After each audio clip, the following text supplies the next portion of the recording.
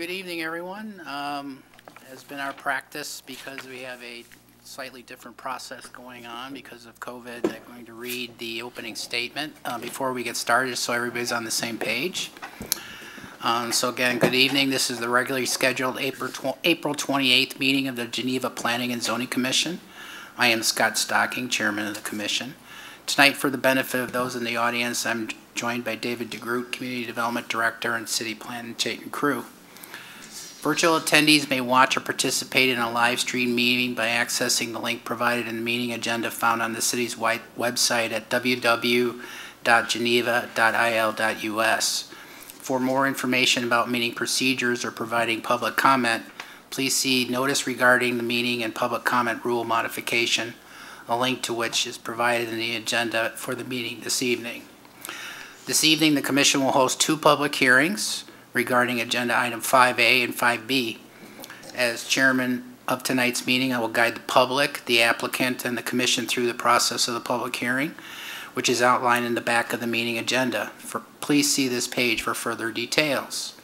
The commission will open each hearing, and the applicant will provide an opening statement and brief overview of the requests. Commissioner members will have the first opportunity to ask questions and review request, and re- review their requests. Commission, oh, I'm sorry, and make comments. This will be followed by public comment and testimony regarding the requests. Audience members will be called upon virtually or in person and given an opportunity to comment. We ask that you state your name and address when it is your turn to speak. If your comment has already been made or your question has already been asked, it is not necessary to repeat it. Remind members of the public to refrain from veering off topic and direct comments that are relevant to the requests being considered. Following public testimony, the applicant will have an opportunity to provide a closing statement and comprehensively answer questions or respond to any of the comments made from members of the public. Additional questions or comments may be stated by the commission, but public comment will not be reopened. Each public hearing may then be closed, followed by the commission's deliberation on separate requests. Any person speaking during the public hearing agree to understand that they will, anything they say will be considered sworn testimony to tell the truth, the whole truth, nothing but the truth. Commissioners, please state your name prior to speaking and prior to providing a roll call vote to better assist our record keepers. For example, stocking, yea, nay, or abstain. Okay, so those are the, that's the basic outline of the things that we're gonna go this evening. Any questions, any? Okay, I'll administer oath right now. Um, for those who are gonna give, what? Did you want to call the order? I can call, I guess so. Okay, let's, for now, let's at least call, uh, call a roll. Colette? Uh, Evans, Evans here. Holloman, Holloman here. Metaskill, Mead, Mead here. Slivka, Slivka here. Stocking, Stocking. Moran is absent. You have a quorum. Okay. All right, now I'm gonna administer Sorry. the oath, since I wanna make sure we get that done. So, those who are providing testimony this evening, please rise, so I can administer the oath.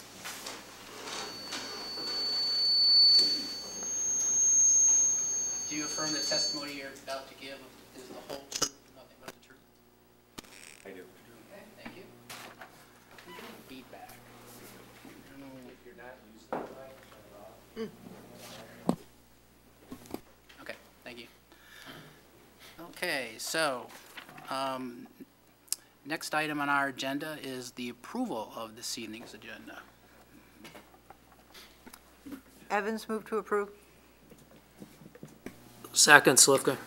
Moved and seconded, all in favor? Aye. Opposed? Okay. Next item is approval of minutes of the April 14th, 2022 meeting. Move to approve the minutes of the April 14th meeting. Slivka. Evans second. Moved and seconded, all in favor? Aye. Aye. Opposed? Okay, so we'll move into the public hearing portion of the meeting. There are two. Um, We'll start with the first one, which is 5A. Um, It's Value, Val- Valley, Valley Animal Hospital request for a comprehensive plan amendment from single-family residential to neighborhood, neighbor corridor commercial and an amendment to the Valley Animal Hospital preliminary and final plan unit development to allow for the demolition of an existing dwelling unit and expansion of a parking lot.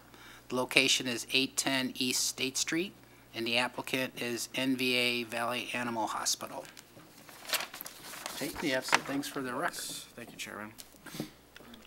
So the contents of this file include an application for an amendment for a preliminary and final planned unit development dated September 10th, 2021, and a comprehensive plan amendment dated March 14th, 2022, both filed by RWE Design Build on behalf of the NVA Valley Animal Hospital, Inc. This application includes the following items: taxpayer of record and uh, permanent list, use, land use opinion application, development schedule, project narrative, proof of ownership, list of adjacent property owners, standards for special use request, PUD variance requested, engineer's opinion of probable cost, soil testing, stormwater permit application, stormwater report, auto turn exhibit, legal description on, and plat survey, oh, sorry about that. Final engineering plans, landscape plans, tree preservation plan, traffic control plan, electrical site plan, and photometric plan. The contents of this file also includes a copy of the letter to all property owners within 500 feet providing notice of the application being filed. A certificate of publication from the Daily Herald for the legal notice that was published on April 13, 2022 for tonight's public hearing. A copy of the public hearing notice mailed to all property owners within 500 feet. And a staff report to, to- from the Community Development Department to the Planning and Zoning Commission dated April 28, 2022. All right, thank you. Thank you very much, and we'll hear from the applicant at this time.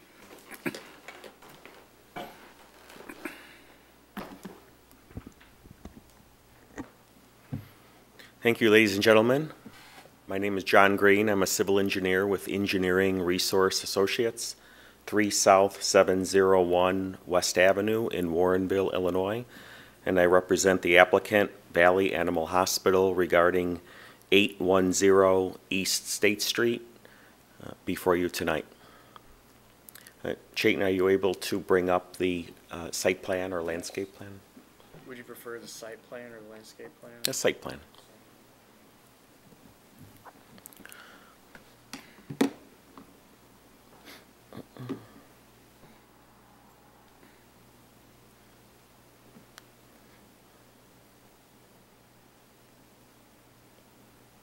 So while that's loading up, I can just get started. So uh, the history of this project is it was developed as a plan unit development uh, approximately 2003 uh, for a proposed uh, uh, animal hospital as well as a single-family home on the rear of the property. It was quite a unique situation, I'm told at the time. The original developer had some concessions to allow a single-family home to remain for a certain period. Um, The good news is, is we're before you tonight because of a success story that the animal hospital has been very successful and there is a, there is a a unique shortage of parking on this property. Um, The original employee count, I'm told, was two veterinary, two vets and about eight or nine support staff.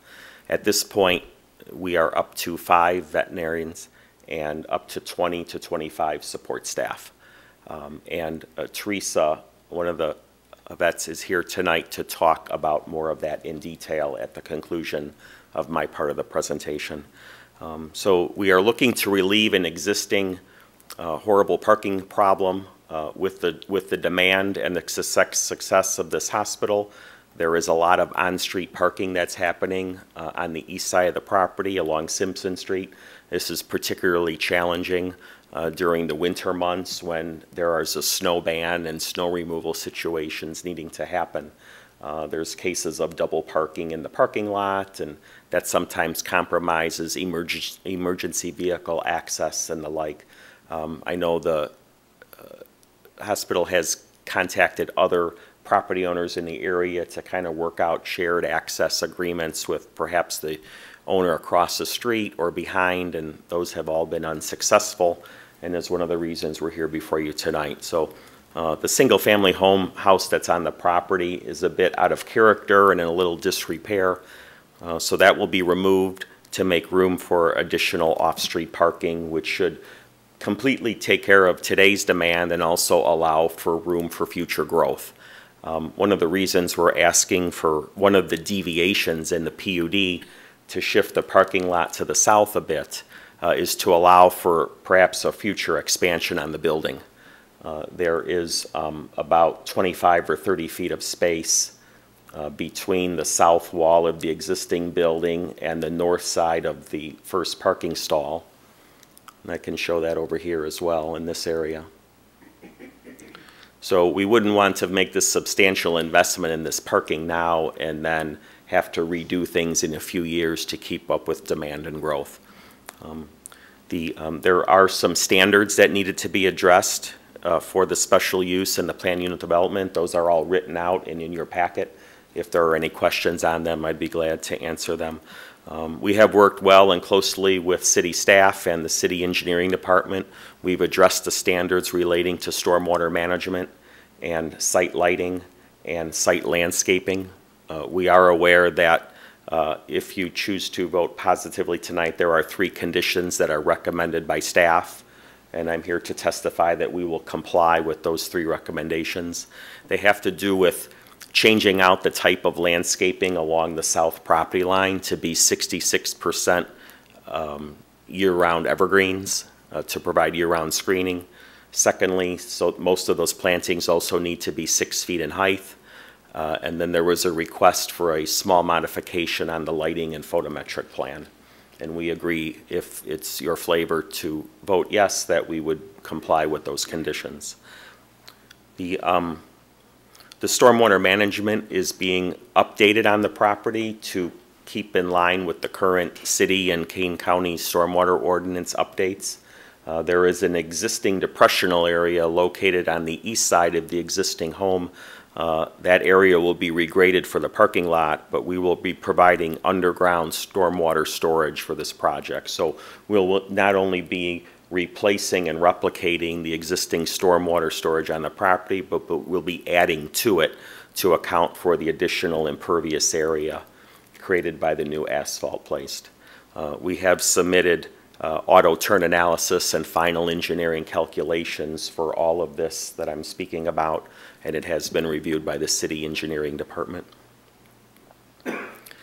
Uh, So the one deviation we're asking for is reducing the south property line setback from 20 feet down to 5 feet. Um, Your code does allow this to happen as a planned unit development, and we've submitted a landscape plan that will have with the conditions the necessary additional plantings. Uh, The second deviation is the Simpson Street parking lot setback, a reduction from the code-required 20 feet down to 13.4 feet. I will note that this reduction to 13.4 is simply consistent with the existing parking lot that's out there today. This is a, this is a carryover from the addition, initial PUD from 2003. And so the, um, the existing parking lot, which is this line right here, that runs north-south parallel with Simpson, will just be extended south. And the reason, so that I'll point it out here too. And the reason for that is so we can keep the cars all in the line, preserve the 24-foot wide aisleway here, which is required for the city fire and police, and to bring the fire trucks through the property, and also to provide safe ingress and egress.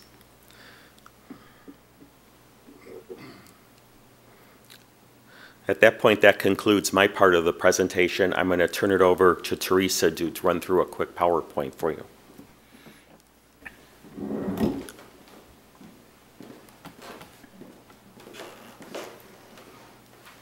There it is. Yeah. You can just click through them, I'm pretty sure. Can I enlarge it so I can get the oh, actual, where's my thing? Oh, yeah, let me see. So my name, I'm actually, I'm going to present instead of Teresa. My name is Jenny Christakis. I'm one of the veterinarians at Valley Animal Hospital at 810 East State Street. It's okay, if we can't enlarge it, it's not a big deal. You can start with that and then Yeah. just arrow down, Okay. okay? Thanks. You just can't see it on there. Thanks. Perfect, thank you. Okay. So I asked John if I could present, just so I can explain, because obviously he's the engineer, but we're the people who live, work there every day and have to deal with the parking. So I want to tell you from my perspective and from all of my coworkers' perspective, why I really, really want this. Okay?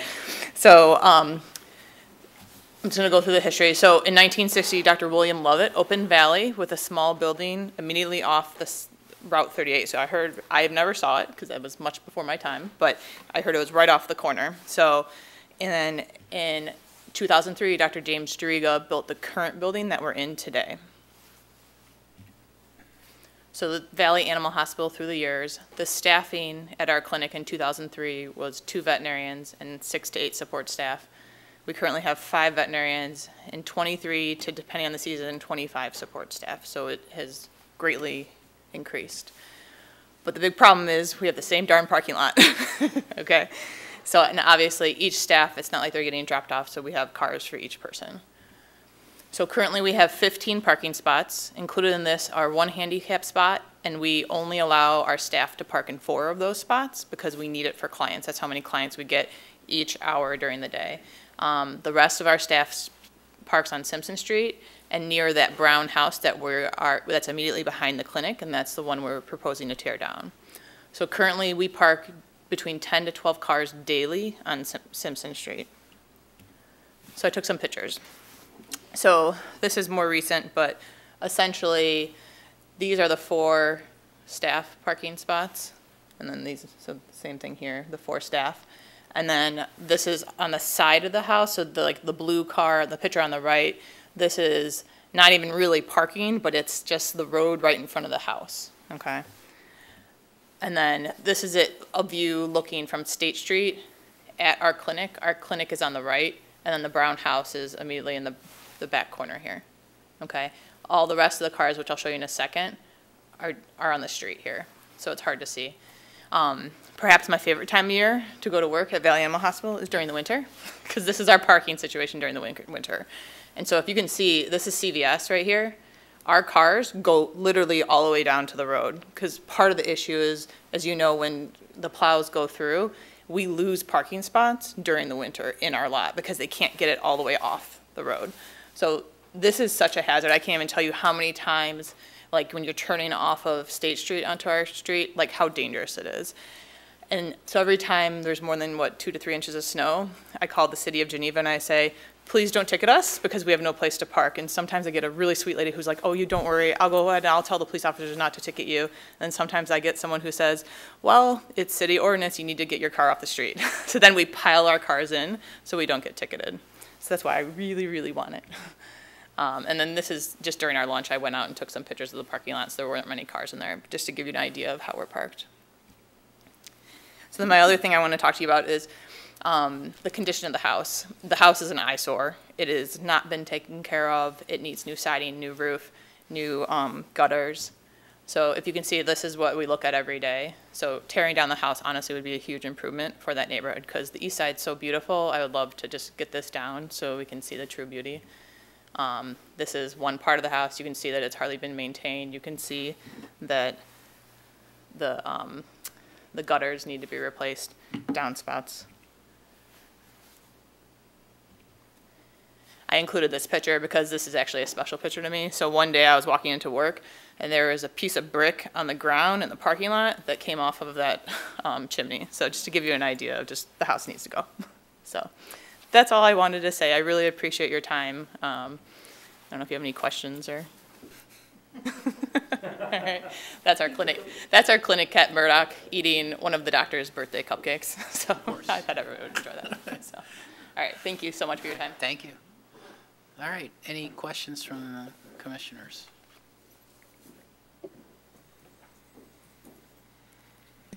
Mr. Chairman, I, I don't have any questions, just comments. I, I agree with everything they just said. I, I went out there about 2:30 or 3 o'clock today, and the parking lot looked exactly like it was represented. The house looks decrepit and need of coming down. I was particularly interested in the south boundary uh, for the, uh, the variation in the, uh, the setback, and the- based on how that, the product, the project to the south is, the multifamily project, where they're coming, they're going to just be getting a little closer to the entrance drive. I don't, for- I I personally don't see it being a problem, um, e- either of the, of the setback issues that, or uh, setback requests that they've got. So I, um, I think it was thoughtful and and appreciate you also thinking about potential expansion of the building and not having to redo your parking lot. I think that was, uh, it was good to explain that to us up front. Yes, Rebecca? I just was wondering if anyone's currently living in the dilapidated house, so it's just sitting there vacant? Yeah, if you come forward, please, so. And I was just wondering who technically owns it? So we own it now. Okay. Um, we just purchased it, what was the date? I don't even know. It was in October. October of 2021. It was previously rented out, which is why it looks like that. So it's a duplex, so there's two sides to it, and um, no one lives there. They did have renters, but the last renter is gone. Oh, okay, thank you. Yeah. Yes, ma'am. Uh, Mr. Chairman, I I just wanted to echo that your presentation was very thorough and answered all of my questions. Uh, In particular, I was wondering about the design of the parking lot and the fact that the building looked relatively small compared to the parking lot, but uh, the idea that you're thinking ahead to expansion makes it all make sense, so no concerns. Okay. Michael? Yeah, really not, not a lot to add, but agree with what everybody said. I was out there as well and uh, saw the parking on, on Simpson. Um, And I think with the, the addition of the, uh, the, the landscaping on the south, on the south side is, is, is a key thing. Um, Although the, the house to the south is pretty far away, but you, you're going to have headlights pointing in that direction uh, when cars pull in, pull in and out of those spaces, so. uh, But otherwise, uh, yeah, look, looks good. Any other comments, questions? Okay, I'll open it up for public comment. Um, Anybody here in City Hall, first off, who wishes to speak on this matter? Do not see anyone saying they'd want to speak on the matter, so we'll go to the virtual audience. Anyone virtually who would like to speak on this matter, please use the raised hand tool on your application, and you will be recognized to speak. No? Okay, one more time. If you are watching this online and you wish to speak on this matter, please use the raised hand tool on your application. You'll be recognized to speak to the commission. No? So there are no public comments virtually.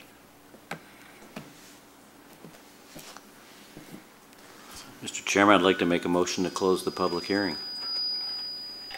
Second, Slivka. Motion to close the public hearing has been moved and seconded. Celeste, the roll, please. Okay. Evans, Evans, aye. Holloman, Holloman, aye. Mead, Mead, aye. Slivka, Slivka, aye. Stocking. Stocking aye. That passes. Okay. Mr. Chairman, I'd like to make a motion to approve a comprehensive plan amendment from single-family residential to neighborhood slash corridor commercial, for- commercial for the property in PUD located at 810 East State Street and subject to the findings of fact contained in the staff report. Just need to include the recommendations. The- The recommendations, I think, will be on the next motion, I think, the conditions. Second, Evans? Jayden, you're looking like you don't agree with that. Okay. It's been moved and seconded for approval. Celeste, call roll, please. Evans, Evans, aye. Holloman, Holloman, aye. Mead, Mead, aye. Slivka, Slivka, aye. Stocking. Stocking aye. Passes. Mr. Chairman, I'd like to make a motion for an amendment to the Valley Animal Hospital preliminary and final planned unit development to allow for the demolition of a single, of a- of a residential dwelling unit and expansion of an existing parking lot located at 810 East State Street, subject to the findings of fact contained in the staff report, and further subject to three conditions. Number one, at least 66% of the trees required within the transition yard setback must be evergreen trees. Number two, landscaping in the form of vegetation that will reach a height of at least six feet in height at full maturity shall be incorporated within all portions of the transition yard setback.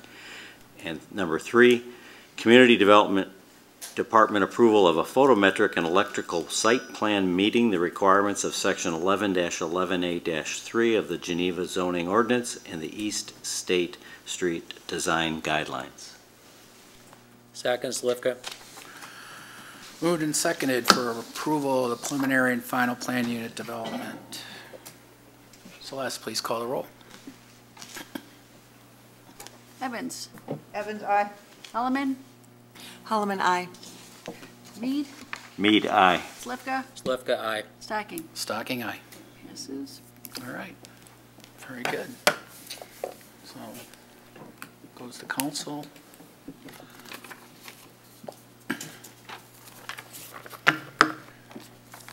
So the recommendations that the Planning and Zoning Commission just made will be considered by the city council on May uh, 16th, Monday, May 16th, at 7 PM here in the city council chambers.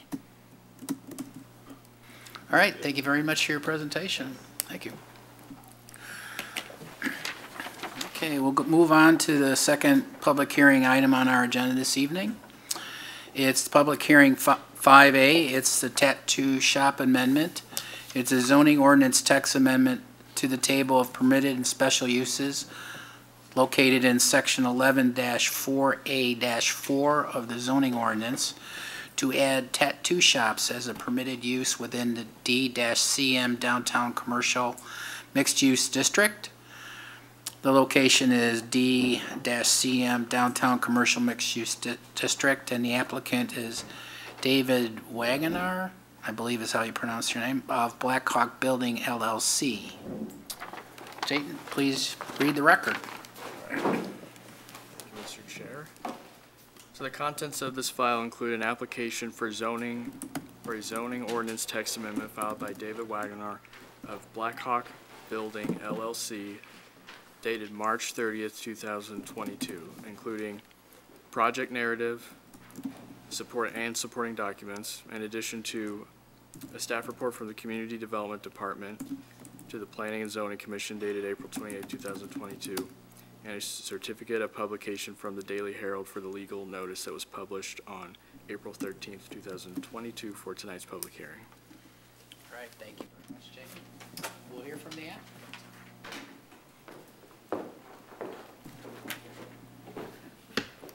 Good evening. Uh, I'm David Wagoner, uh, Blackhawk Building LLC, uh, which is my wife and I. That's.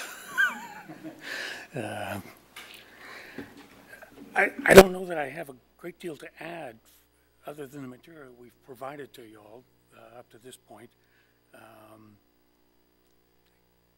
I guess we have some self-interest in this. The the property we have at 524 West State, uh, which is where uh, Firewater Barbecue is at, on Sixth and State. Uh, This particular space in the building has been vacant for just over three years now. Um, Previously was occupied by a uh, chiropractor, which worked well. I mean, we'd have clients in on appointments, so there wasn't a huge need for parking and that sort of thing. Um, And even with uh, Neil Johnson's efforts. Uh, He's, he's done a great job on the rest of the building. I mean, we've had no trouble keeping that full. Uh, The space, you know, we're out of the walking pattern of Third Street.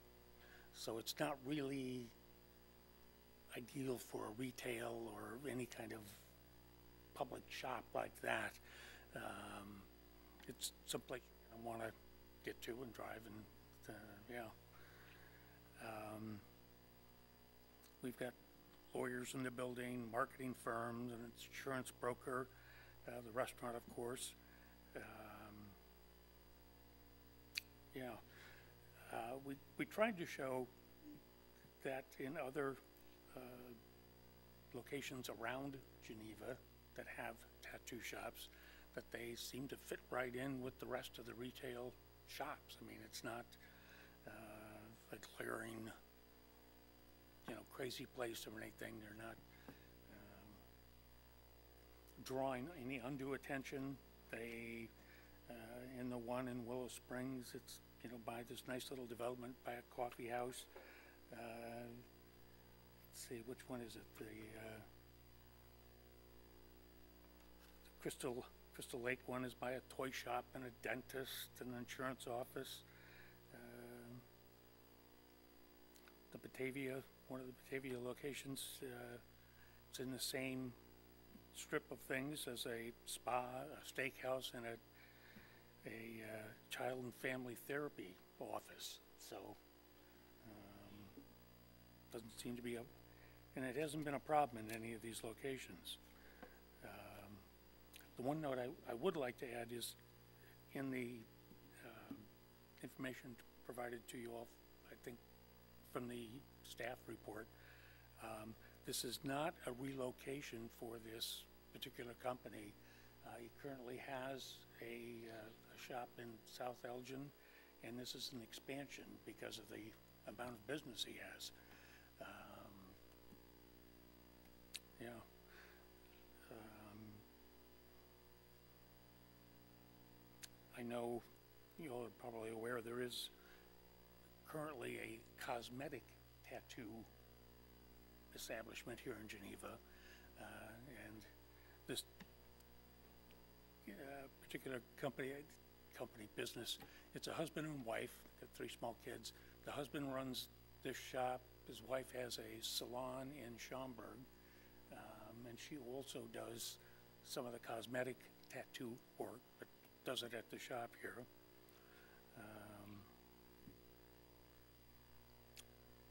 Also, I'm sure you're aware that the state has incredible number of uh, rules and uh, very specific regulations for how the shop is run, how it's set up, the people that can come in. I mean, I guess we all have, you know, visions of drunk sailors coming in or something, but, you know, that is far from the case. Um, And in talking to uh, this gentleman, I mean, it's nothing he allows, so I don't think there's any problem there. Um, The health concerns, once again, the state has all sorts of regulations that keep things sanitary and very under control. Uh, All of the medical waste, the sharps, all of that is taken care of by uh, licensed contractors, so it isn't like whatever they've used, you know, gets thrown in the dumpster out back. I mean, it's all very controlled. There are yearly inspections by the, uh, the health department on it. Um, You know, um, what else? I mean, they're very, like I said, they're, stated in some of the information we put together for y'all. Uh, I mean, they're very excited to come here. Uh, Like I said, they have three small kids. They, they, in long-term, would like to be, uh, relocate the residents here also. They currently have two of their artists that work with them that are, in fact, resident. They've grown up in Geneva. Um, So that's, that's nice. Um, And I think it would just add, you know, another interesting shop. I mean, Geneva's got so many interesting uh, restaurants and uh, bars and shops and things that this uh, would just add to that. Uh, I hope we showed in our, in some of the pictures we had, uh, the wide variety of folks now that express themselves with these tattoos. I mean, the ones, I, I love the ones with the, the little kids' drawings, you know, the dads and such. And, um, you know, memorials for, for your family, your loved ones, uh, just daily inspiration things for you. And, uh, yeah, I mean, it, it's, it truly is, uh, uh, pretty amazing, the, the visual images and the, the art of it. It's, uh, pretty striking. Okay, are there any questions? Very good. All right. Are there any questions from the commissioners? Yes, Rebecca. Um, I was just curious, um, instead of the, the, some, um, information was requested early about the difference between a special use and, um, the, changing the, the, the entire zone. I'm not saying the right word.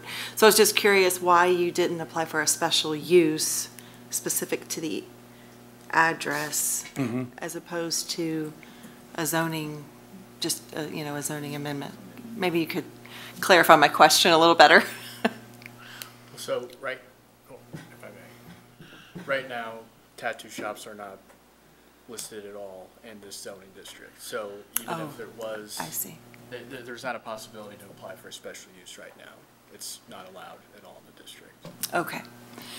Um, And then I was curious if you had had any feedback from the other business owners in your building. Um, Nothing negative. I mean, they, a couple of the people, uh, managers in the restaurant already have things picked out. I mean, the- the, the shop is open from noon until eight PM during the week. So it isn't like it's, you know, some crazy late-night place that uh, is going to be drawing, you know, when, I mean, they're, they're closed before the restaurant. Um, So it's, it's, it's amazing how uh, normal a business, given its history and all, is. Uh, I think the the clientele has certainly changed dramatically. Um, So, yeah. Okay, thank you. Yes, ma'am. I'd like to follow up on Rebecca's question. It's not a permitted use, a special use now, so they cannot apply under special use. But what would be the reason not to request that it become a special use as opposed to a permitted use? Well, I guess that would be up to the applicant. Uh, They are requesting to make it a permitted use versus making it a special use and then applying for that special use. Do we have the option to make it a special use instead, and then they could apply for a special use permit? I, I believe that's up for discussions.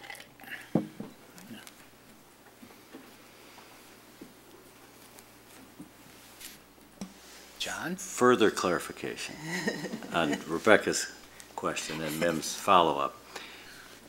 If we, because that- the rub is permitted versus special use. Permitted is an unfettered right, uh, and, and- you know, to, to have as many tattoos, people can put them in without any kind of hearing.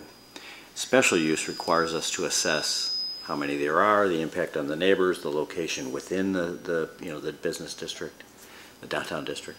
Um, I just, if we, if the commission felt like we wanted to pursue this or consider it as a special use, could we then modify the second request or the request that this particular user be, be coming forward tonight for a special use approval, or do they have to come back after having submitted a different application? I want to make this as efficient as possible and as cost-effective as possible for the applicant. So they would have to come back, they would have to apply for the special use, they'd come back because that requires a public hearing and there needs to be legal notices and publication of that for the special use to be considered. E- even though the, the notice was provided for this public hearing as a permitted use, which is less restrictive, arguably. Well, so tonight's, the meeting tonight and the uh, public notices that went out were for the text amendment to allow it to be a permitted use in the district. Which would not require then a s an asset-specific or location-specific uh, motion. And we cannot add that here because that was not included in any notice that went to the public. It was in the information, Yes, though. and, well, and like I mentioned, if, if we did decide to allow it to be a special use, there, you know, per state statutes and the Geneva zoning. code, Right. We would need to put notices out and go through the legal requirements for a public hearing for a special use. So So it couldn't, it couldn't piggyback off of what's being considered tonight. Right, that's, yeah, we- uh, uh, if the commission was uncomfortable with permitted use, was, was comfortable with special use, we, we could change that recommendation in the text amendment tonight, but the applicant for this situation would need to come back. Ma'am, could you please turn your mic off? John, you need to have yours I- on. so- Well, I think I, I'm done. Okay. Yes, Michael? Excuse me, so, so if it, if it was recommended to be a special use here tonight, it would still have to be approved by city council Right. to even accept an approval, or, I'm sorry, an application for a special use in the future.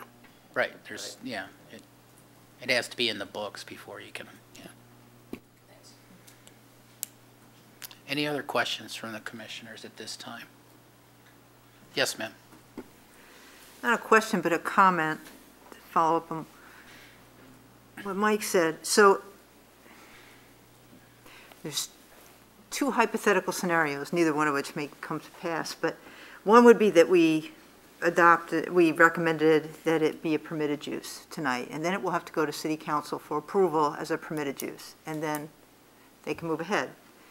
The other would be if we were to recommend it as a special use, then they have to come back here again, and then it again goes to city council. So it's two steps, but I'm wondering if we're really setting them up more likely for failure at city council by sending it as a permitted use as opposed to a special use, so that we're not really doing them any favors by trying to avoid the step of having to come back for a special use permit. I know there's not an answer to that, but it occurs to me that we may not, we- you know, we might be thinking we're streamlining it for the applicant, and and perhaps we're not. And, and that assumes that we recommend positively the permitted use. Right, right. I said the I- I'm hypothetical- sensing energy here that we would vote, and it potentially could be, go to city council with a negative recommendation, right? So, It could. And, and one, do- one more thing just to mention, if, if the commission were to recommend it be a permitted use this evening, that would go to city council where they would consider that, but they could potentially change it to special use. So then you come back and apply for the special use, but if the commission feels that it should be a permitted use and you want to give that a shot, you're, you can do that.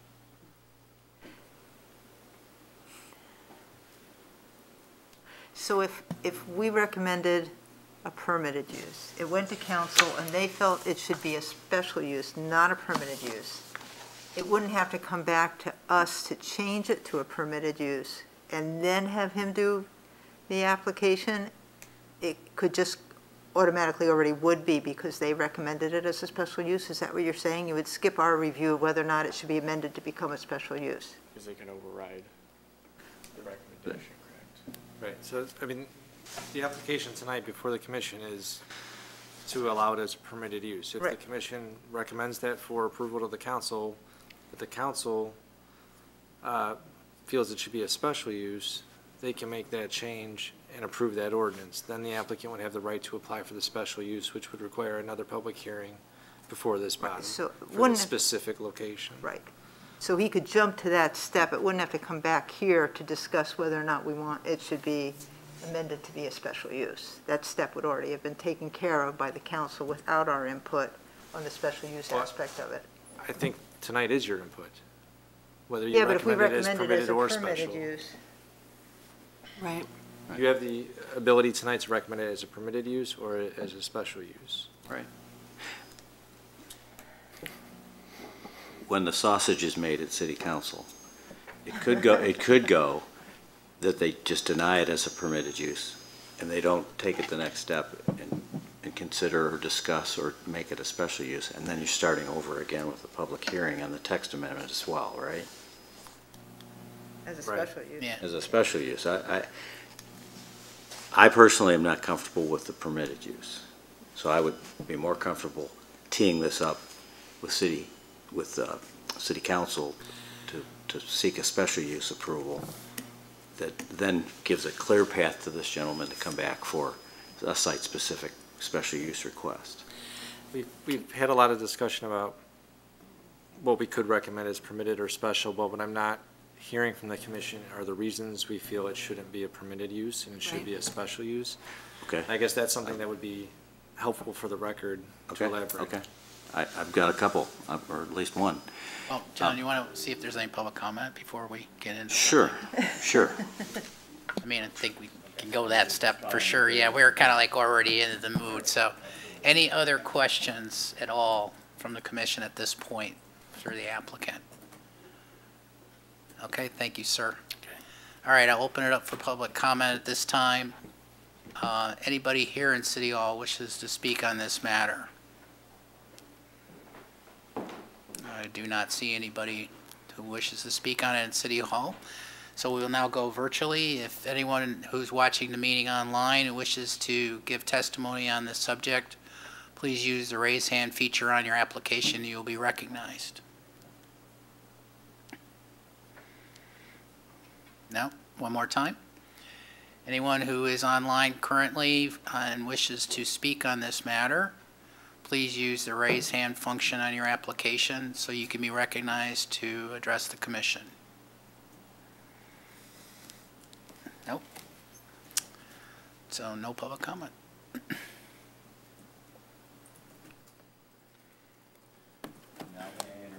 You can interject now. Because I don't know that I'm ready to close the public hearing, but I think it's, it's worth keeping this discussion, discussion going. Um,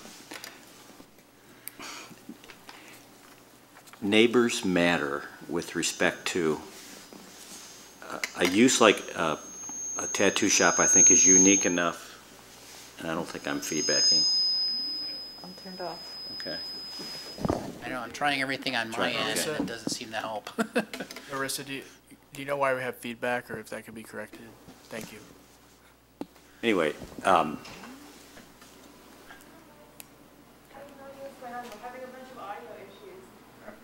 right, thank you.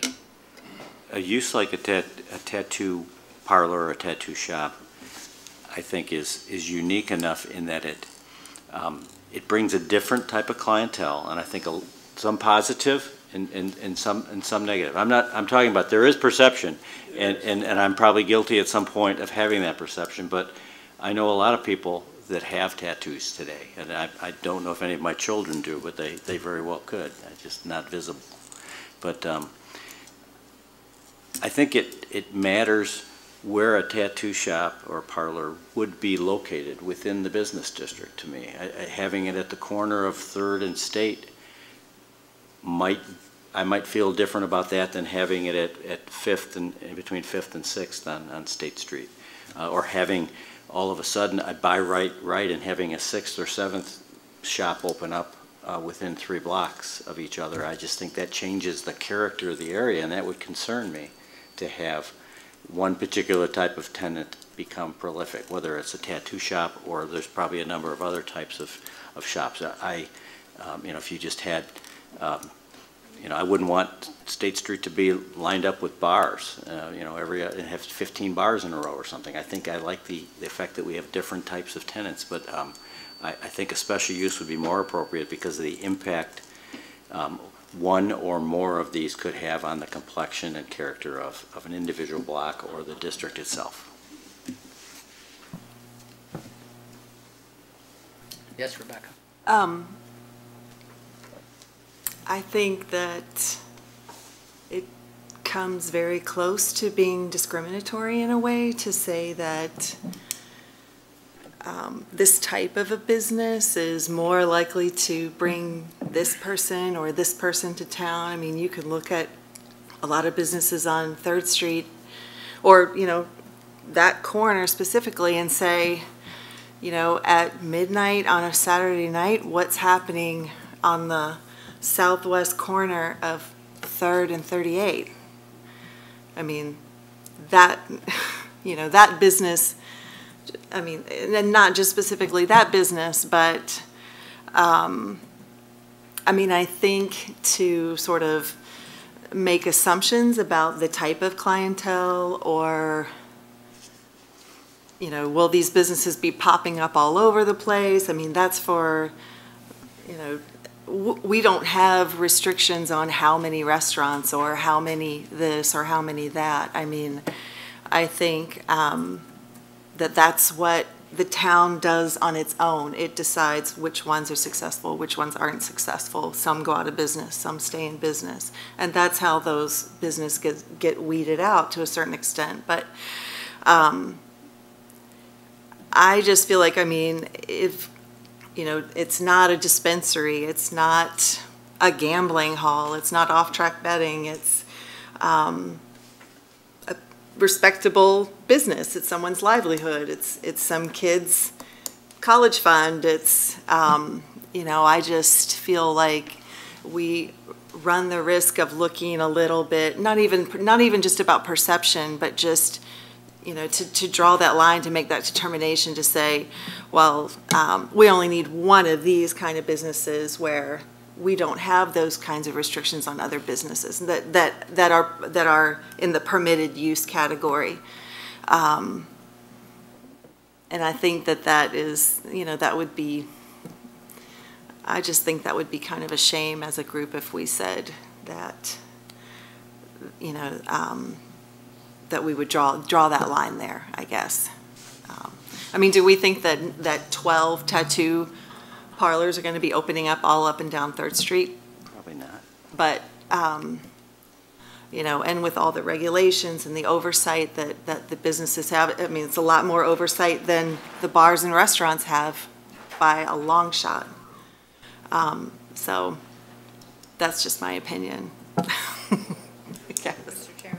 Yes, ma'am. I agree with Rebecca. Um, I think that when the character of a use changes, and perhaps 20 years ago, a tattoo parlor was something different than it is today, it is so widespread that you can pretty much say that anybody who is a Geneva resident is as likely to have use for the tattoo parlor as they are for many of the permitted uses in the area. So I'm not sure we aren't just dating ourselves by saying that this should not be allowed. Things change. But one concern I do have, and that I'd like David or Chayton to address, is that I have noticed that some tattoo parlors, not all, continue to have uh, uh, an appearance facing the street that is um, not really in keeping necessarily with the aesthetics of downtown Geneva and to what degree can that be controlled? You know, giant letters that say tattoo and odd scripts and blacked out windows and that sort of thing would not necessarily fit in aesthetically. I don't think the use itself is a problem. So if it was permitted, um, and they wanted to install a sign, if it met the sign code, they could put that on the building. Um, I don't believe we allow neon in the down, or just for neon signage. Um, But, you know, if there's specific things about an appearance that we're concerned about, that might be more appropriate under a special use to kind of put conditions on that use versus if it were permitted and it met the sign code, you could have, you know, that, that look with, you know, the letters you're speaking of. um, Or just the appearance. If, it- if it meets, if the appearance of the shop meets code, um, then it's a by right.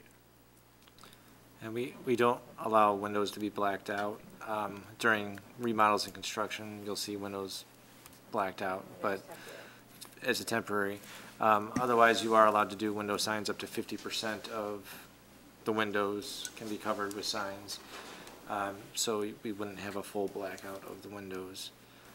Um, But otherwise, if it meets the, the the size requirements and the lighting requirements in, in the downtown district, uh, we can't control what type of font is chosen, um, for the sign.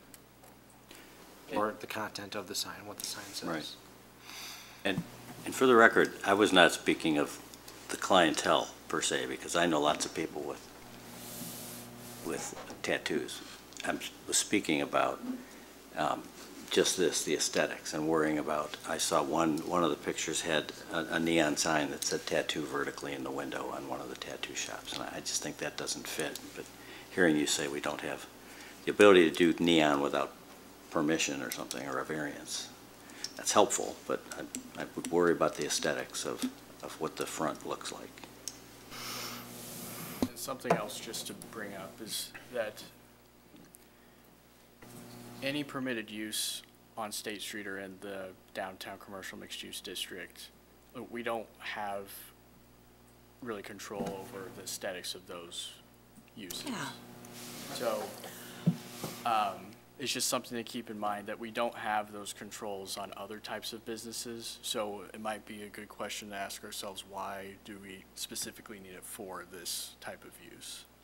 Um, Like I said, it's, it, it's, I guess, it, because you could have a restaurant, you could have a restaurant come in that, you know, it does everything that we're worried a tattoo shop's going to do, but the restaurant's permitted. Yeah. That's a good point. And- Well, and I, I think too, as a, a new business coming into town, I mean, I, I, I don't know this business or what his signs look like at his other location, but, um, you know, already being sort of aware of some of the thoughts and feelings of the community, this isn't a business that's gonna go out of its way to be ostentatious or, um, you know, bizarre in some way to, to scare neighbors off. I mean, I think that's what they don't want.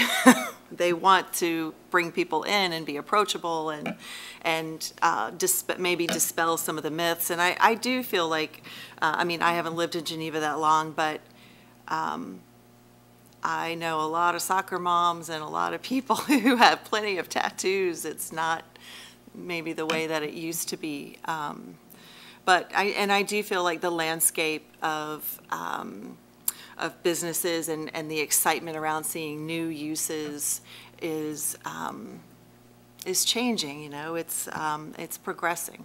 I, I think that for sure. Yes, One other thought. Um, I know that there's a concern, there was the one letter that came in about the image of the community, which way is Geneva going, that sort of implication that perhaps we're changing our, the tone, of the whole tone of the community, which I I don't believe we are anyway.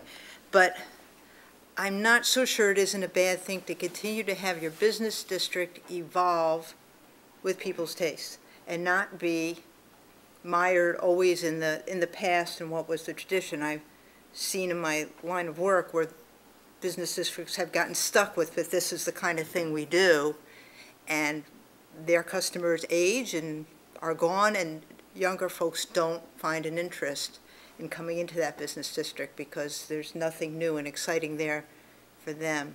So I think that's something else when we think about a new permitted use.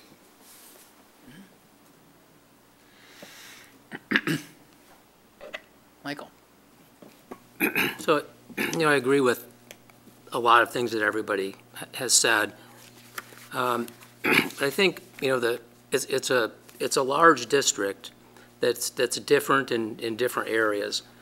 And, you know, when you think about, John's example, for example, is, is uh, Sixth and State, the, you know, the, the best place for this type of a use? And is the synergy right in another part of this use that might be two or three or four or five blocks away from it? Um, So I guess that's, you know, that's part of the, the, you know, the, the question, when, when you look at a district, you know, can you feel, uh, if it's, if it's a permitted use, can you feel that it, it makes sense no matter where it is in that district? Um, And so, so that's, that's, for me, the, the question of the permitted versus the, the special. Special use doesn't ultimately prohibit it, it, it, it just, it just creates a second look. There's people throwing up on the street at that corner.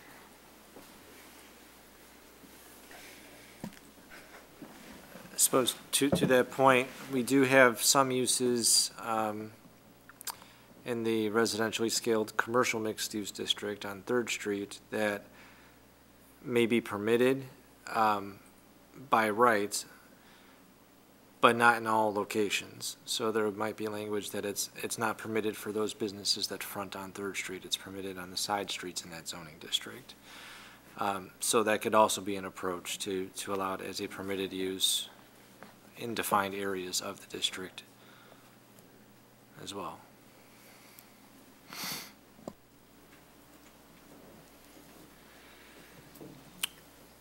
Any other comments, questions? The applicant wish to say anything further at this point? Okay. Um, in, in terms of the signage and all, I mean, I mean, we've owned this property now for eight years. And there's been a, prior to uh, Firewater, there were a couple of other restaurants and they looked into different signage, uh, possibilities. And I know, um, that Geneva has a very tight grip on what they will allow, you know, the size of things, uh, the placement. Uh, We're right across the street from the, the Save-A-Lot and the Ace Hardware. They have signs on posts going up, and I know that, I know, we looked into that. Um, And I believe that was not allowed any longer. There was some, either they were grandfathered in or there was some, something that allowed those just across the street from us, but they weren't, even if it was on the, the property, not, you know, on the sidewalks or anything that, uh, and the, uh, restaurant, there's a, a water wall in the patio area. And he, the owner seems to have thought that he had that approved at some point when he did uh, all the build-out, and he put uh, the restaurant name on the, it- it's not really the side of the building, it's a brick addition that has this waterfall. And I don't think it was up more than a week, and I got a call saying that's got to go. You can't paint on the side of a building. So I- I don't think uh, the the signage and, you know, crazy flying things for big blow-up things out front is, I mean, that, that's just not going to happen. Uh, I mean, these, these folks are very deliberate in wanting to expand here in Geneva. And, and I think it's, I don't know if, if clients that they get at their current location are from here. Like I said, a couple of the artists are. Um, so I don't think they're going to do anything to what you were saying that's going to, you know, make them seem crazy or weird or, you know, um, try to push the boundaries of whatever Geneva has set up for the signage and all. Um, and I mean, they, like I said, they're, they're very deliberate about their uh, uh, choice here. So I, I think they're going to make every effort to um, fit in. I mean, like you said, it's a normal business. They, uh, I, I know it's, it's not necessarily pertinent to, to your decision-making, but they're, they're really not going to be changing uh, much in the way of the interior build-out from what the chiropractor had, which was a waiting area in the front. And, um, I mean, they want to keep it very uh, modern, minimal, you know, not, not all kinds of crazy things. And uh, um, so, for these folks anyway, I, I don't think that's a real concern. Okay, yes, ma'am. Could could we uh, talk a little bit more about this idea of limiting it to certain areas within this district? Could you explain um, exactly how we do that and, and what everybody's feelings are and where it would be appropriate and where it wouldn't? Yes, I'd defer to the commission on, on where they feel it would be appropriate, but a recommendation could be formulated to, to recommend it as a permitted use in the DCM district um, for only properties in, you know, from this block to that block on West State Street, or excluding certain blocks, however the commission felt was appropriate. I feel like the, where this particular building is located is one of the more appropriate locations. Um, It's, as, as he mentioned, it's not part of the walk-by retail restaurant row kind of place. It, it's good for a business that's by appointment. Seems appropriate. I don't know what the boundaries should be. This is a new idea that I hadn't really thought Right, about. if you look at uh, figure one on page one in the staff report, Yeah. that outlines the Yeah, get that up there, boundaries. Yeah. Primarily, um, properties fronting State Street, um, from Anderson Boulevard to Bennett Street. Um, And then it does, it does extend one block north of 38 to Hamilton Street on Third Street, and two blocks south down to Campbell Street on South Third Street.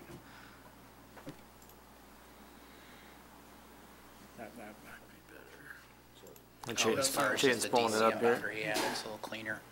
Right. And down by the train station, too, Yep. Correct. and on the other side of the river. Kind of And then s- the other side of the state, yeah, Yeah. from the river. So perhaps, and I'm just throwing this in as, out as an idea, mostly because the lines are already nicely there, but what if you had it west of Fourth Street?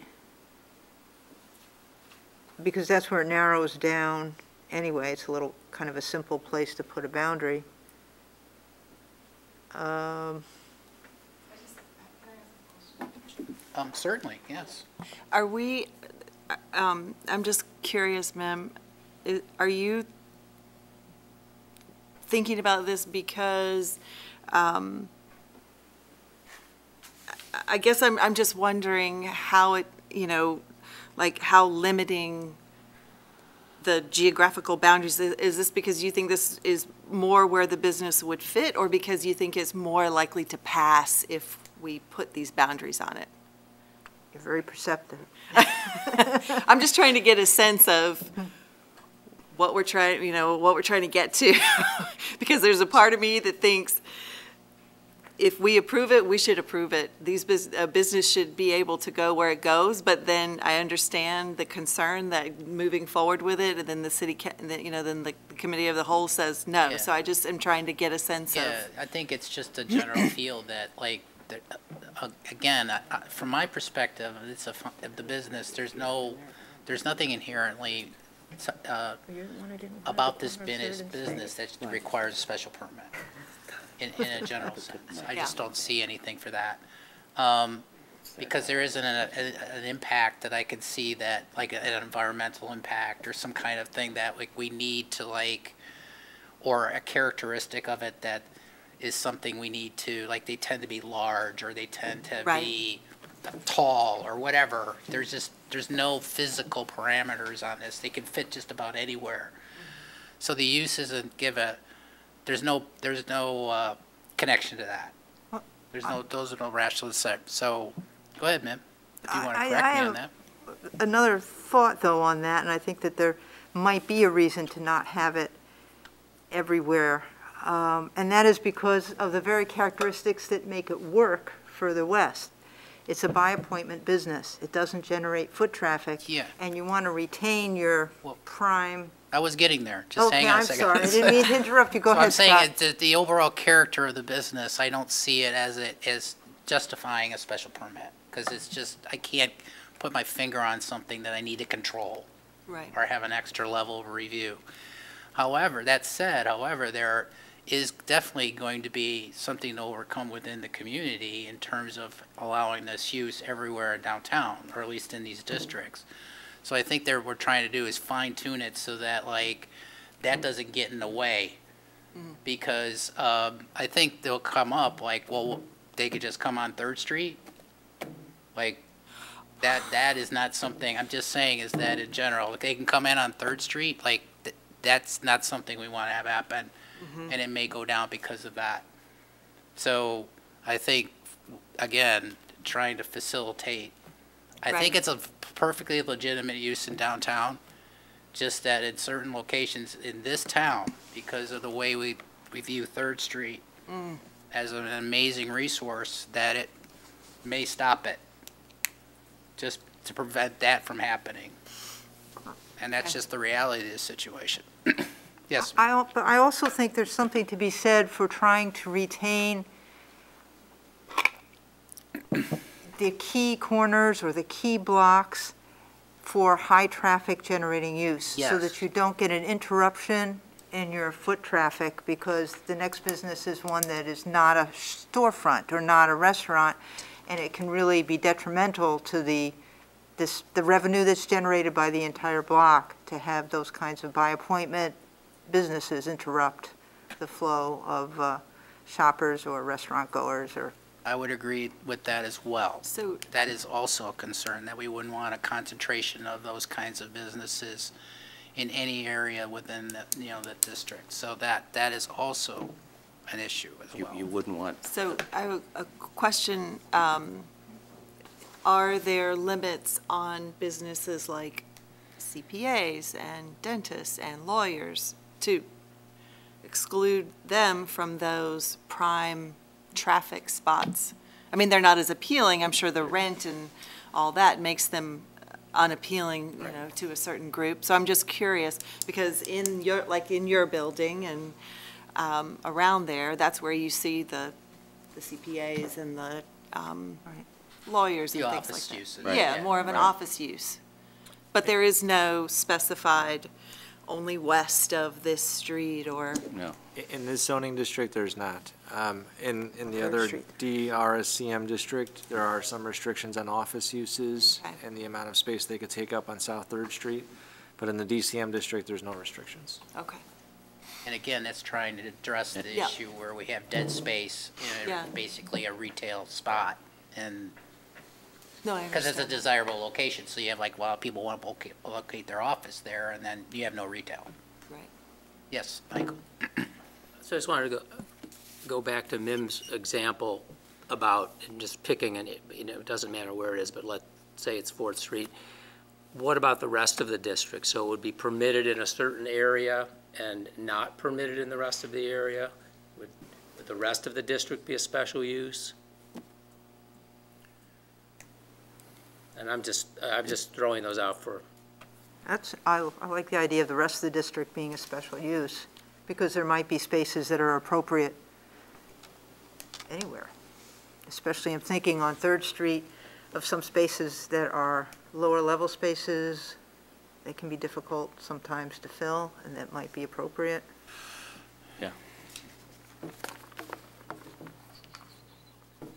Then you Oh, get right back I- to the, it's I- just be a special permit, because then we're just dealing with the economic and mobility p- I- parts of it, and it oh. matters where it is, and if it's in some spot, then like, we don't think it meets the criteria. You know, I, I find myself leaning into Rebecca, she didn't use the exact words, but it's almost self-policing. You're not going to have 10 of these because 10 can't exist. 10 chiropractors can't be on State Street, can't, you know, whatever. Um, So I find myself transforming during this discussion to being, to being more receptive. And then I find myself thinking, well, really, there's no spot on State Street, I look at this, that really even needs to be prohibited. I mean, I, I- you're not, they're not going to be able to afford the rent where Starbucks is or, uh, you know, the jewelry store is on the, on the hot And corner. Locations in Third Street. Right, they're going to be an infill spot between, you know, Stockholm's and the, whatever A it is, two small away. storefront. Yeah, uh, so I don't know that the self-policing aspect of it, and um, it- by the nature, as I study this now, we have two blocks on Third Street that are a different district. So that's, the quaintness of Third Street will be retained and sustained because it, it's not part of the district we're It's talking about. That's why we Um, did that. I mean, I would be open to saying special use on Third Street if, you- if they, if you felt that city council would be more amenable to that, but I'm, find myself coming around to, to being more comfortable with, with, with it as submitted and requested, so. I- This is- It's been a good Anybody discussion. else, anybody else's comments at this point? Michael? yeah. Think you no, wanna comment? I mean, I, I still think there's validity to the, to the type of use, es- especially as a traffic generator and, Yeah. and consistent with the other types of uses um, Yeah. that are, that are in, an- in a, even a part of the district. Um, So I, I, I do think there's some, some value to, to preserving that. Do you have boundaries you would suggest? I'm sorry? Do you have boundaries that, that you would suggest?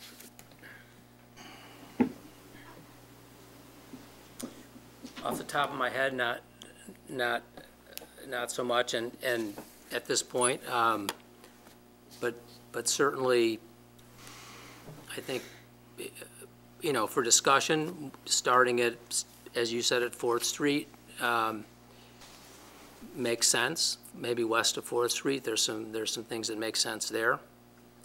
Um,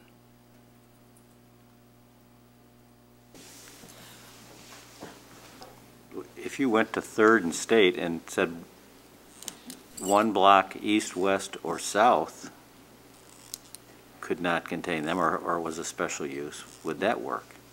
Because then you're going to Fourth, you're going to Second, and most of the walking traffic is up and down Third, and in that four-block area east and west of, of Third Street, right? I mean, that's where you get most of your, I could be comfortable with that, but what about the other side of the river? I don't see any objection.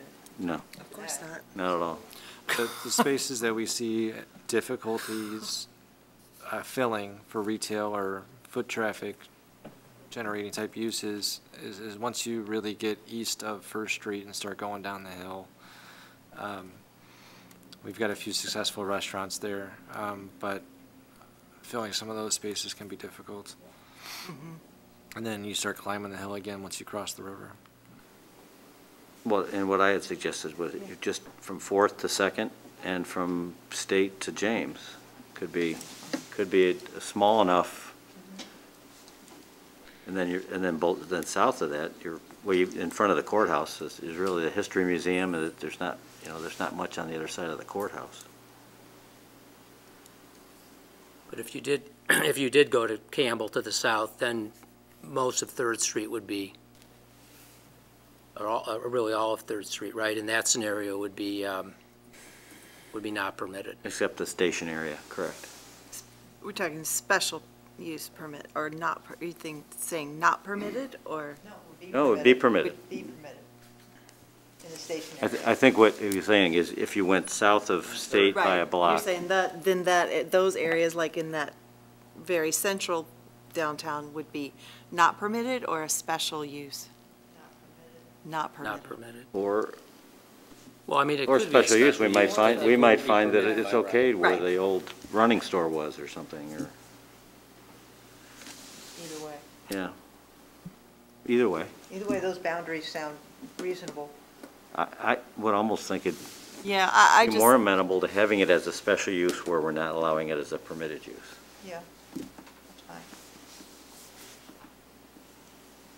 I I guess I just, I, s- I worry about sending the wrong message that we think that this business is okay out here, but not where the, where this is happening, where we want these specific things to be happening. And I totally understand uh, the foot traffic, and we want those businesses to be, you know, to promote that idea. Um, I- It's just, I- maybe it's a, a tough pill for me to swallow to say that, um, I don't know, that I just, I just feel like as a business owner, you know, if, if you want to, you know, we don't have restrictions on a lot of other kinds of businesses and um, it just, it feels a little off to me to say that. But baby steps, if we could get some, um, you know, get it permitted in one area, maybe that could lead the way to opening up the whole thing, but. Well, and to Rebecca's point, other non-foot shopping or traffic generators, we're not restricting their, their locations at all in this district, right? Th- That's correct. Um, It was something that the, the council explored, oh, wow, maybe 10 years, ag- nine, 10 years ago now, and decided not to, to uh, retain that flexibility in, in the zoning district, um, to be able to respond to the market and, Right. Yeah. Business owners can make responsible It's- choices. It's not like chiropractors can't be between Fourth and Second or something, right? Because, And Right. there's We so actually many have, uh, buildings that have, uh, you know, multiple tenants. You may not see a Right. tenant that's around the back, and, I mean, we had a hearing last month with, you know, the the tenant in the back wanting a sign on the front of the building. There's lots of tenants we don't even know exist, frankly, so. Oh, yeah, for sure. Any other input at this point? Feel like we're all over the We- place. We're I- all over I- the place, I but Personally, we are all over the place And I- to some and- extent. And I yes. probably transformed more than anybody else in this conversation, but I'd be fine sending it as submitted to city council and letting them see if they need restrictions on it myself. Well, we got it on the record in terms of concerns. Right. I'm, I'm, I'm sh- siding with Rebecca. I, I think it should be a permitted use. I- Um, I'm close, closer to that than I am I, to I saying no. just, I just Yeah, think it becomes chaotic and, um, non-justifiable to, to cherry pick. Um, this is not, if it, if it is, if it does have that kind of input, that it, impact, that it should be a special permit. For s- something that we could put our hands, on I mean, I think we've tried to put hands on it, but, and you really think about it, it's gonna, the economics and the way the community is, is gonna police that to some extent. Um, and if the community does, and, landlords. and, and if the community doesn't like tattoo parlors on Third Street, they won't, Yep. they won't go to their business. And mean, landlords that's- have the right I to mean- police that, not police, but, you know, make those determinations as well. what Right, I kind mean, in tenants terms they of want. their other, cl- uh, the other Well, the tenants, landlords they're have a like, well, I vacancy don't even three wanna years. risk a tenant leaving Right. because I've got a, another use here that maybe somebody will Right. take an objection to. So I just, I think it's just gonna take care of itself. I, I just can't put my finger on something. If, if I thought it was going to impact the the downtown central district, I'd figure out a special permit criteria to it, but I can't do it. So then it's a permitted use. Anybody else?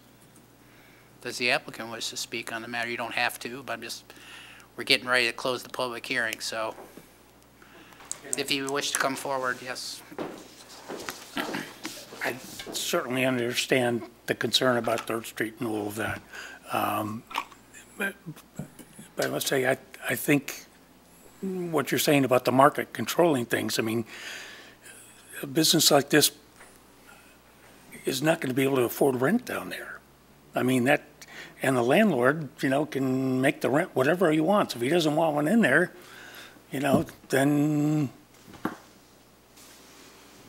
he can control it that way, I, I would assume. Um, um, I mean, we- we've had, in this three years, two serious concerns, both of which would have required hundreds of thousands of dollars of investment on our part, just to upgrade utilities and such to take care of what they wanted. One was a bakery, I mean, it, I mean, the gas and the electric, oh my goodness. Um, so, yeah, I mean, I think those, those concerns are real, uh, but I, I think, um, uh, I can't think of any place, I mean, we did a, a fair amount of research looking into different areas that have existing shops, and it, it isn't like there's a dozen of them within two blocks of each other, you know, if one's there, then, you know, that's taking care of things. I mean, I think the, uh, uh, demand for it, I mean, he's finding now that he's got enough business and he's ready to expand and is making a uh, conscious purchase or conscious decision to uh, uh, come here because of that, so. right. Okay, All right, thank you, sir. All right, I'm going to ask again, just because we're getting ready to close the public hearing, so is there anybody here in City Hall wishes to speak on this matter? Do not see anyone. Anyone online who wishes to speak on this matter, please use the raise hand function on your application so you can speak on this matter. Nope? No hands. Okay. Mr. Chairman, I make a motion to close the public hearing. Second, Evans? Moved and seconded to close the public hearing. Celeste?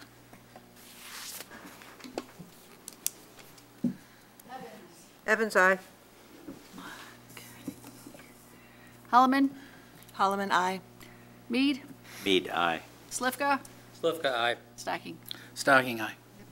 Passes. Thank you. So, direction from the commission. I, I'm comfortable putting forth a motion as, as requested on this unless we want to add any conditions. I'm comfortable with it as, as it is. Michael? So, you know, I kind of go back to something actually that Rebecca said and, and combine that with the comments about, about the market, uh, you know, determining what will and won't be successful and, and starting with baby steps and, um, and, and yeah, and yes, even in that, the market will be successful, right? If this were, let's just say, uh, a special use requirement, um, the special uses would be approved if, if they made sense, and I, think so. So, you know, maybe, maybe there is a way to, I, I guess I'd be more in favor of starting, starting a little slower than with uh, permitting it by right through the, the entire district. Okay?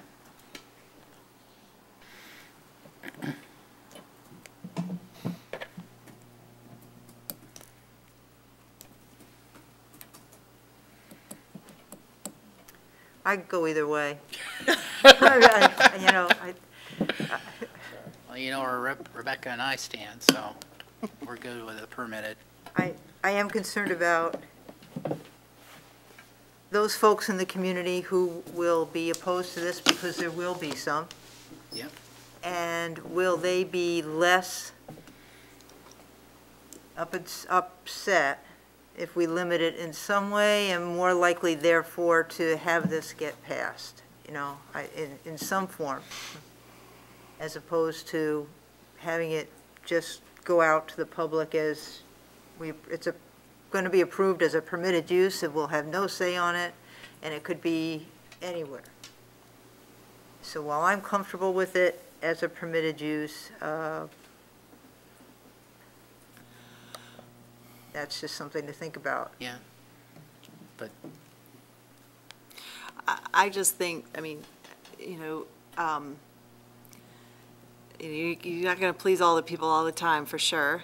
Um, but I, I understand that, you know, people can get very vocal and say that's not what this town is about, just like that letter that we read, um, which I am, am sympathetic to that, but I also think, um, you know, that, that, that that's okay. That some people are not gonna be happy with everything that's happening in Geneva. And I'm sure there are lots of things that people could say or complain about. I mean, maybe they don't like the massage parlor, parlor that's over by Ace or, you know, certain businesses that they're not necessarily in favor of, but um, that's okay. They don't have to go there. You know, I mean, they're not going to be shoved down their throat if they don't want to go to the business. And um, I don't, I mean, I don't know. I, I think you just have to say, like, I mean, they're comfortable with it or I'm not. And, I mean, clearly I am. So, So if we put this forth as submitted, will the city council, absent watching our, reading our minutes or, or watching the, the YouTube, will they be informed that we had some discussion on, on limiting geography? I'm just thinking of tempering, um, that, that this was a thoughtful decision and we're bringing it forth, having discussed effect on Third Street and effect within, you know, unwalkable, on, on the primary walking areas and everything else. Will, will they, will they understand that?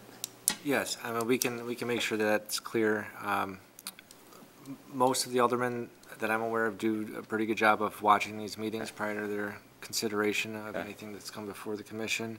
Um, We prepare an, an executive summary for them, kind of summarizing the Right. recommendation of the commission. Um, In a case like this, we'll probably include the report because it has the district boundaries shown in there, and we can provide a summary of the discussion along with a copy of the draft minutes that Celeste prepares. Okay. I would suggest we, sub- we take a vote on it as submitted and just see, considering that, Michael, that city council will benefit from all of this dialogue in coming to a final decision, I guess. Yeah, I guess at the end of the day, it's always the city council's looking towards us for guidance and Right. what we think is the correct Right. situation to Right. go forward with, and that's what we should, do- we should, that's our mission, and that's why we're here. Right. So, uh, you know,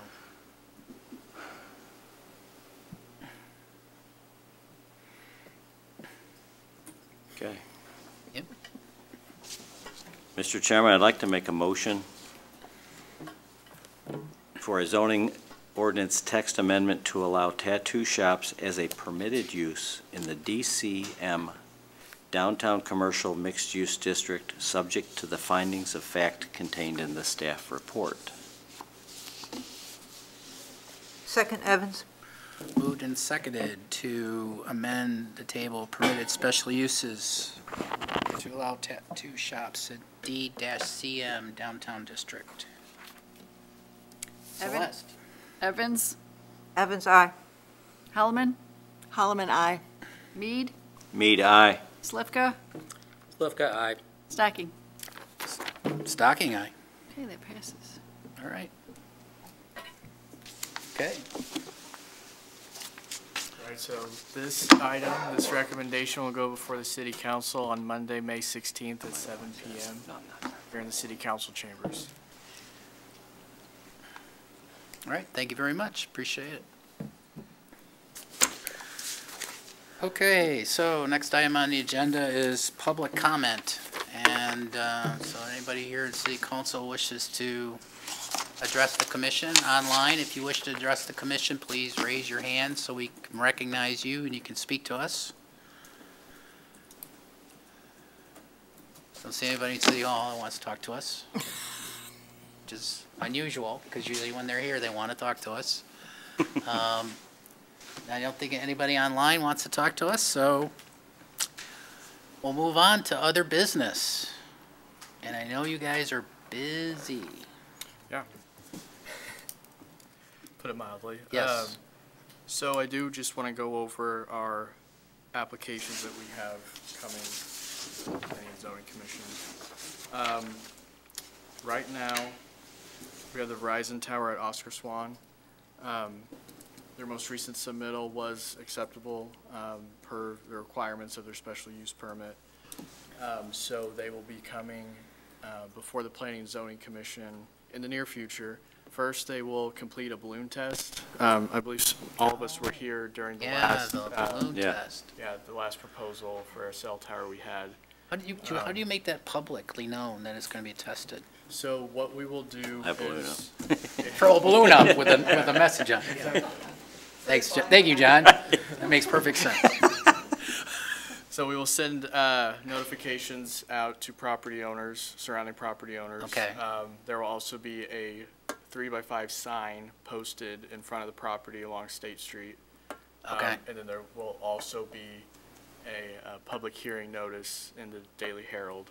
And then, of course, we have our development page. um, Right. On the website, so we will. That specifically talks about the balloon test. Yeah. Okay. So we'll have a section specifically dedicated to the balloon test, um, date, time, and place. Um, and then that will be pushed out in a news flash to everybody who's hmm. mm-hmm. subscribing to the development mm-hmm. page. Okay. So we have multiple mediums to, to Yeah, notify the public. As long as people are known, yeah. And then, of course, when the balloon goes up, that will draw attention. But- People will be calling City Hall, why is there a balloon hanging over Swan, yeah. Um, and just based on initial conversations, they plan on doing it, executing the balloon test a little differently than the last applicant. So they're hoping that it will be more successful, so we'll see how that plays out. But obviously, we'll send an email out to the commission and let you, the body know when. Like the last time, yeah. Okay. Just so that you, uh, the commission can go out and actually view it if need. Do they have a date? Uh, not yet. They're thinking late May at this point. Late May. Okay. Could you speak up, please? Could you speak up? Yes. Hard to. Okay. Yeah, we, I guess we turned down the speakers in here because that's what the feedback issue was. Um, so there'll be a balloon test associated with the Verizon Tower at Oscar Swan application. Uh, that should be taking place sometime in May, maybe late May.